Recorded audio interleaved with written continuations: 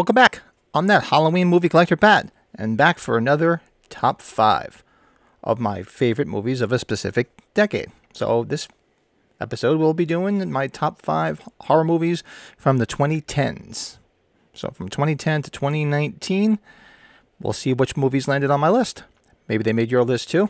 Watch along, and we'll see. So nine number five on my list from 2011. You're next. Love this film.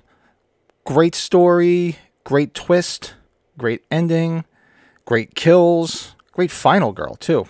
There's just everything in this movie all wrapped up in one story of um, girl Erin and her boyfriend Crispin, who they're going to um, his family's parents' anniversary slash family reunion at their like vacation home. And when they get there, everything seems to be okay. And all of a sudden, they seem to be getting attacked, almost like a home invasion, with these people with these big pig masks on. And they're trying to get in to kill everybody. Now, unbeknownst to these killers, who actually camp out in the house down the block first, you see in the beginning of the movie that they, they take out the neighbors so they can camp out at the house to plan this invasion. So you're thinking it's just a simple case of home invasion for whatever reason. It seemed like the parents had money, so maybe it could have been something related to that. No. You come to find out that uh, the brothers were in on it to take the parents out because they wanted to get the insurance money for killing them. And unbeknownst to them, the girl Erin, her father was like an apocalypse prep, like prepper, one of those prepper people, has prepared her for everything. So she's just setting traps, and she's like fucking Rambo of like a female Rambo, and she's screwing them all up and fucking them up and taking them out one by one. And eventually, she does learn that her boyfriend and the brother is actually in on this, and uh, she takes him out too.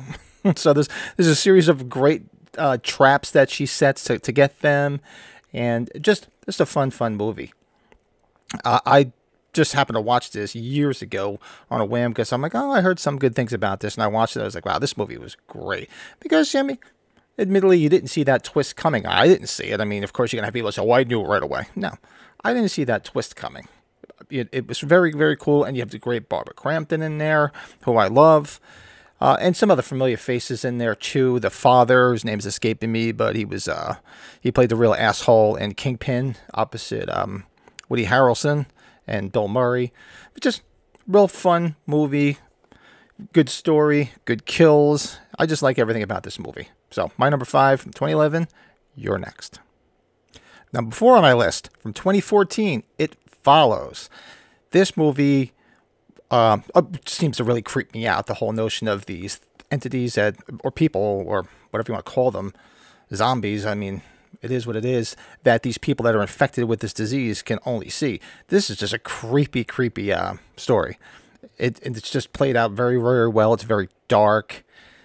And basically, the whole story is, you know, it opens with a girl who is running out of her house and saying goodbye to her parents because she apparently is infected with this this disease. And then you see her in this twisted, banged up way on, on a beach, so she dies off. And then it flashes to girl Jay, who is uh, dating this her like this new boyfriend Hugh, and you know they have a couple a date, and he's seeing things, and he's really not saying anything to her about it. Long story short, they have sex in his car one night, and he knocks her out with chloroform, and then he has her in a chair, and he's explained to her what he did and why he did what he did, and said, you know, I had to pass it on to you to get it off of my back, and you have to pass it on to somebody else.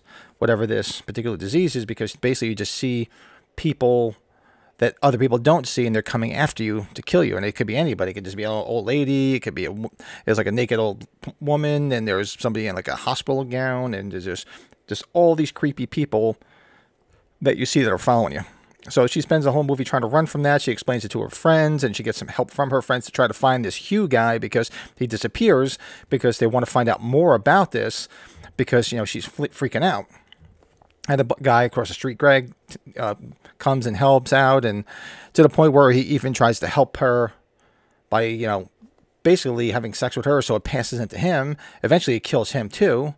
And the one other boy, Paul, who is like the younger, kind of a geeky kid that's in love with her, eventually is keep, keep saying, "Look, you can, well, we can have sex, and basically, you know, I'll help you, you know, by passing this."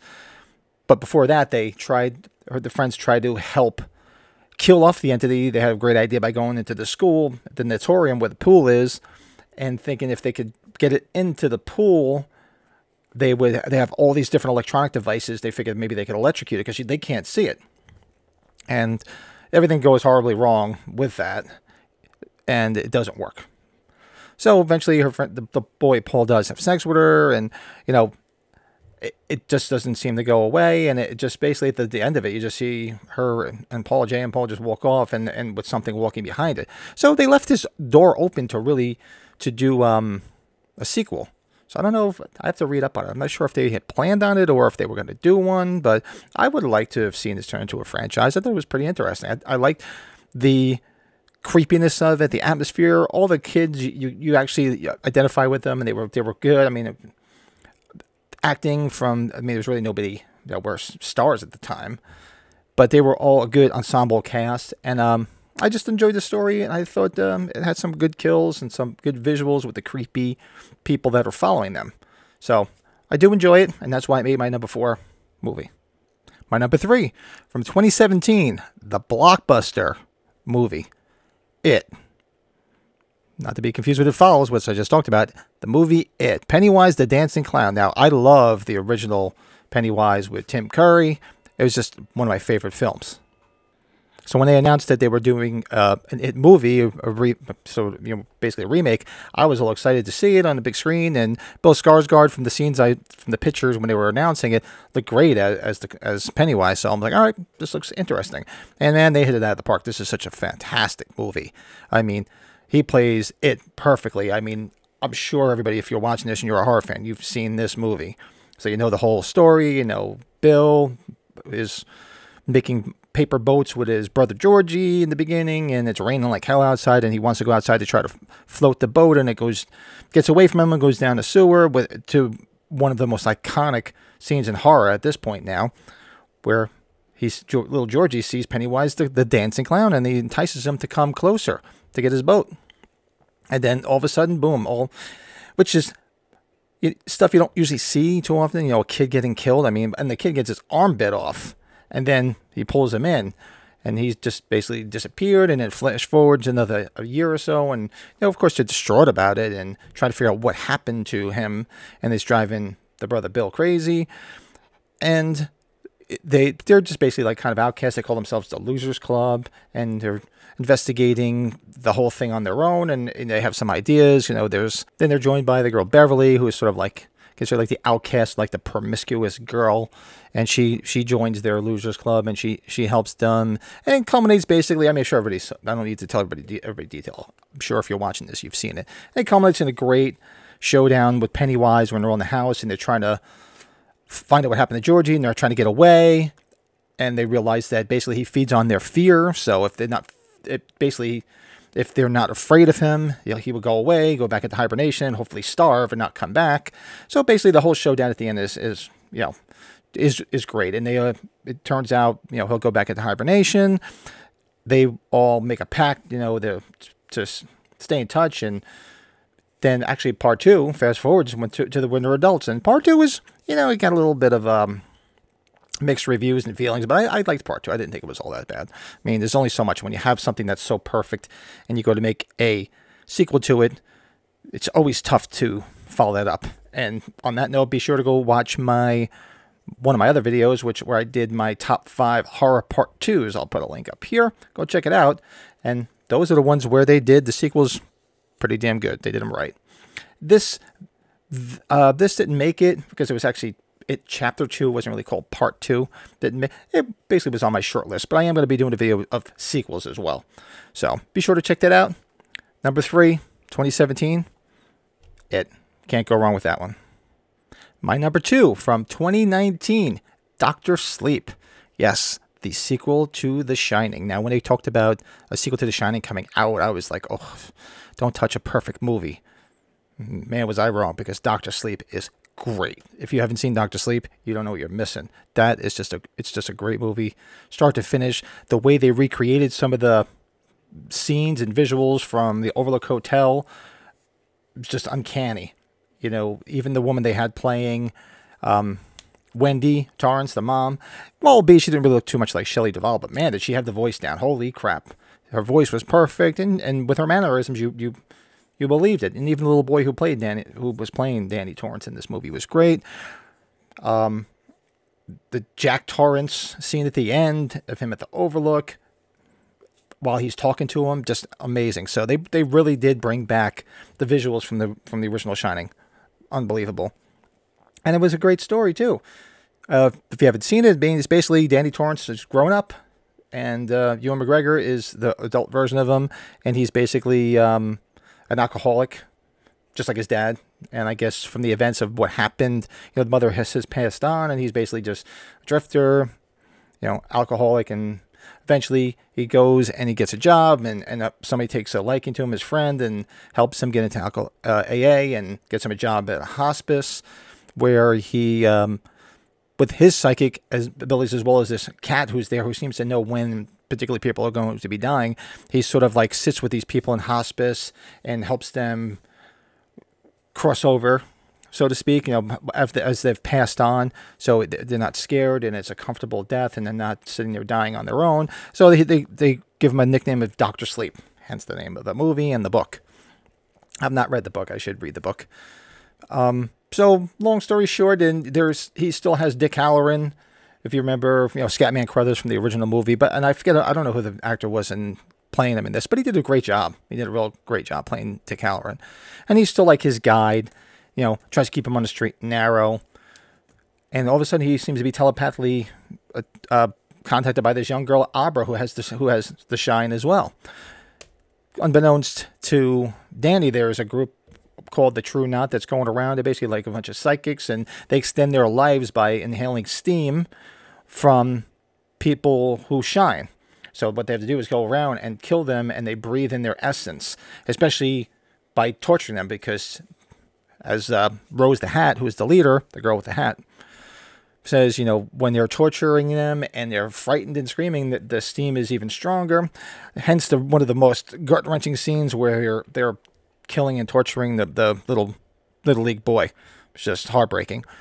So long story short, they go after her. They try to stop her from doing what they're what they're doing, take you know, killing people who have the shine, and it all culminates in a great showdown between them because she they they uh, Rose the Hat has that feeling, and she's got the psychic ability too, and she recognizes that there's two people out there that have major shine around them, Abra and Danny, and basically he lures her, to a final showdown at the Overlook Hotel, where it all started to have all the demons that he locked away in these boxes in, in his mind, who are there, and he lets them all out, and they attack her and kill her, and he goes down with the ship. You know, he sacrifices his life and goes down with the with uh, Overlook, and then towards the end, he becomes Abra's um, guide, and she and he appears to her.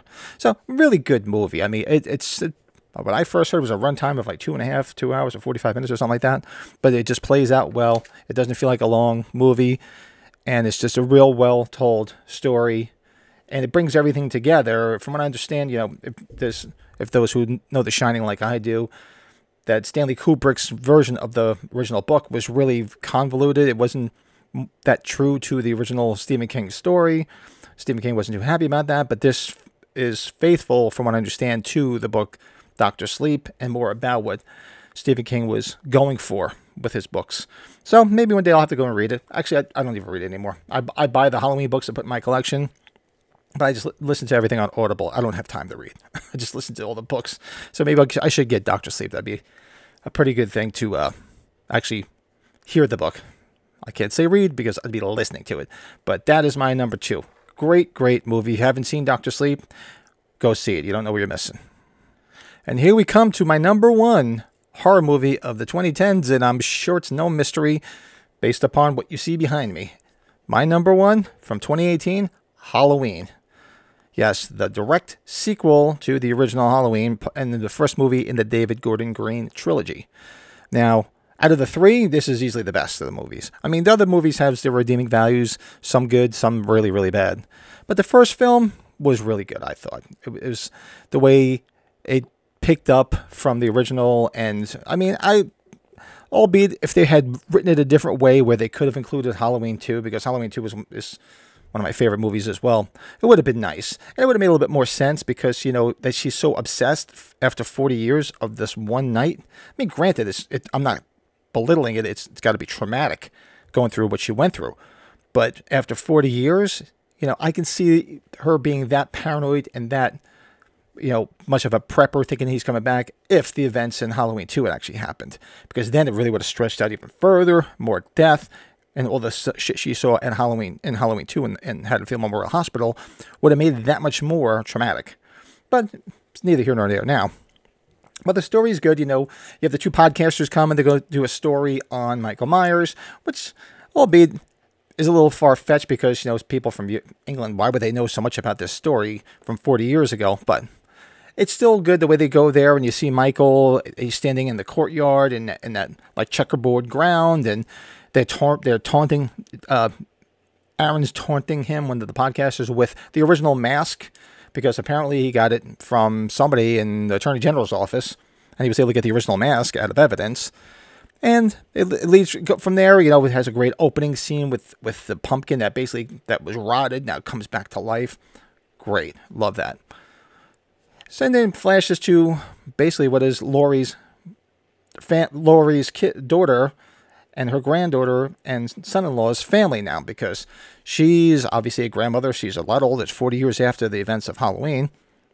So it starts to focus in on her granddaughter. You know, going to school, things she's doing. You know, and of course it flashes to what Laurie Strode's doing now. And these podcasters come to visit her and they talk to her. They're trying to get her to meet up with Michael, thinking that maybe if they come face to face, maybe he'll actually talk because he hasn't spoken a word since, for, in not only just 40 years, well over 40 years, because he was incarcerated and wasn't talking either, albeit he was talking a little bit if you actually read the novelization, but I'm just going by the book. I'm going by the, the original movie, rather. So he hadn't spoken in 50 years or more. And of course, she says now she they just have some great dialogue there, and they leave, and eventually the doctor, unbeknownst to everybody, is so obsessed with Michael. He, while they're, well, of course, another movie where they're transferring Michael Myers on, on or around Halloween.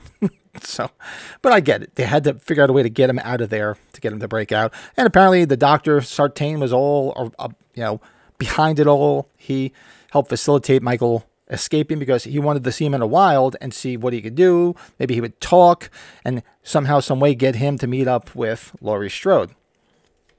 And all the events, I'm sure anybody watching this has seen it. I don't need to tell everybody every little detail where, you know, he's riding around with, with Frank Hawkins and, and tries to kill him by stabbing him and then takes steals the car and throws Michael in it and tries and brings Michael to Laurie's house. That's how she got there. And you see this all more in Halloween um, Kills, where Frank Hawkins basically tells her, "This, you know, he wasn't after you. This is not about you. He didn't give a shit about you. This was the doctor's obsession." It wasn't Michael's. Now, obviously, he recognizes you when he's at your house, and there's a big showdown at Laurie's house. That's this big bunker, and it leads to Michael getting trapped in her trap of a basement and she sets the whole house on fire to try to kill him and that's basically how the movie ends. Well obviously there's a showdown. She's stabbed and they run out and they get into a the pickup truck and they drive off and that's how the movie ends. So you're thinking all right well let's see where he's if he's if he's going to burn or if he's going to come alive. But you know as well as I know that he was going to come back. And he came back obviously for kills came back for ends. Well well maybe 10 minutes of ends but I'm not going to go down that rabbit hole. But Halloween 2018, I like it. I, I thought it was a real good Halloween movie. One of the better ones. And actually, I've done a ranking. Actually, maybe one day I'll do an updated ranking now that Halloween Ends is out. Where um, we'll see where everything lands. And it's definitely in, in my top five to Halloween 2018. James Jude Courtney as the shape, fantastic. Bet, just the best since Nick Castle. While I love my Dick Warlock, you know, the best since Nick Castle. Go if you want. Go watch my um, Who Did It Better, where I where I compare Nick Castle as Michael Myers and Dick Warlock as Michael Myers. I'll drop a link up here. Go check that out too. It's a it's a fun little exercise comparing things back and forth, and then come to the culmination to see who did it better. I'm actually working on another one right now, so it's going to be a lot of fun. But my number one, 2018, Halloween. Actually, that I mean, probably blew people's minds because it made like $250 million or something like that. It's the highest horror movie in history, I believe, because it just kept going and going. And, and there was, albeit there was such a, a long gap. So you figure the last Halloween movie would have been in 2009, Rob Zombie's Halloween 2, so 28. And if you go read Taking Shape, part two, where they talk about all the lost scripts, and you can see how they tried to bring Halloween back for many, many years, and it just kept getting sidetracked and sidetracked and sidetracked, usually by studio interference. And then they finally got David Gordon Green on board, and that's how they were able to put this to screen. And did a great job. He he really did. Not only just as a director, uh, it was a great cast. A couple of cringy dialogue things, but that's to be expected. You know, David Gordon Green was known for comedies, not really horror. You know, a la Pineapple Express. I mean, it is what it is. But it's just a good movie. I, I really do enjoy it. The mask looked great. James Jude Courtney was fantastic. Laurie, uh, Laurie, well, Laurie Strode. Jamie Curtis was great. Andi Matichak as as Allison was good. Uh, it was just a, a well-rounded cast. And um, my number one uh, horror movie of the 2010s. There you have it. Those are my top five horror movies of the 2010s. I'll probably follow up since we're still in the 2020s with, you know, my top five horror movies of the 2020s so far because we're only at 2023. And since 2020 to now, I could easily put together five. Easily, five or more. Some great movies came out in the past few years that I did enjoy, so I'll probably do that in the next week or two. So, hope you enjoyed this. Do me a favor, if you'd like to see my um, Halloween collection behind me or updates about this channel, you can find me on Instagram at that Halloween movie collector. Don't be shy. Drop in. If you'd like to see the collectibles and what's going on in this channel, go check it out. Also, in the Twitter world, at that Halloween movie collector is on Twitter, go stop in. It's basically just um, updates about this channel, things we're doing. But stop by and say hello. Also, if you're a collector of Halloween memorabilia and a Halloween fanatic like myself, I have a collectors group, Halloween and Michael Myers Collectors Group on Facebook. Go check it out where all collectors are in there posting masks, things for sale, Halloween updates. They just announced H45, which we kind of all knew was coming, but now they've just made the official announcement. I I booked my hotel room in the convent right next to the convention center at the Marriott.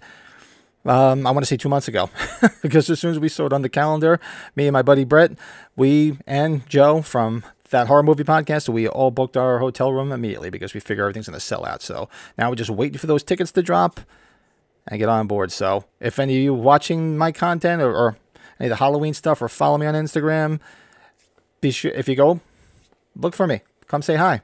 I'd love to see people that watch the channel. You know, say, hey, aren't you that Halloween movie guy?